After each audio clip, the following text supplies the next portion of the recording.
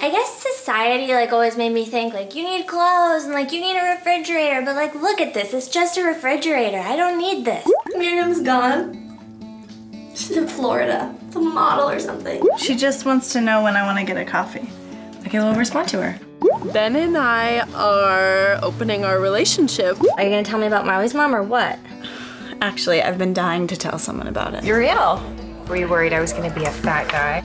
Lives here. Mom's Instagram girl crush. Catch lady here, uh, about to meet a really cute girl at 2 a.m. We kissed once. I don't know what else is gonna happen. What would you like to happen?